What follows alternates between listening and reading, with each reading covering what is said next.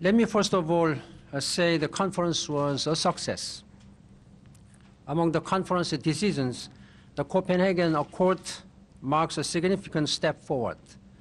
Uh, first, it commits uh, countries uh, to work to limit global temperature rise to below uh, 2 degrees uh, Celsius. It also says that they will review this commitment in 2015 uh, to take account of new scientific evidence. I understand that the IPCC is going to, uh, uh, they will try to uh, release their fifth assessment report in 2014. I believe uh, this accord represents almost all member states of the country's positions.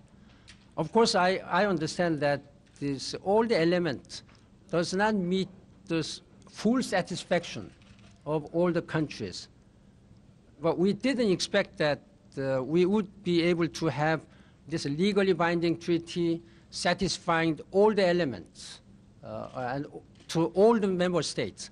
But I think we did get what we need uh, to make this process move on.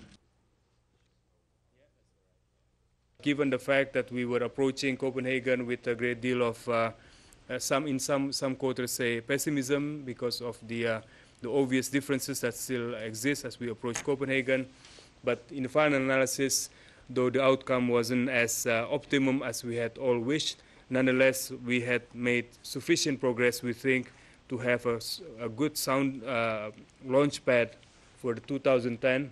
And of course, for the 2010, we need to work extremely dil diligently so we can have a legally binding treaty by middle of next year, hopefully.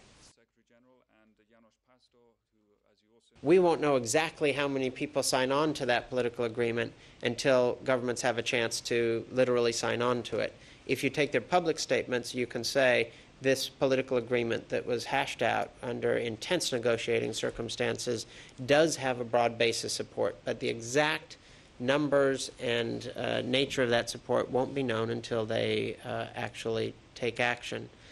Is it a uh, failure for the Secretary General? Quite the opposite. Um, there would not have been a consensus resolution to put this before all the member governments had the Secretary General not directly intervened in the closing uh, plenary. Just to be clear on this, uh, we've been saying, Secretary General has been saying for over a year that we need very strong political guidance from the highest levels to the negotiations. And what we got in this accord is exactly that, without which the the next step of making the politically the legally binding treaty would not be possible. So we have an accord which has immediate follow-up, but at the same time it provides that guidance to the negotiators next year. So we actually got two things.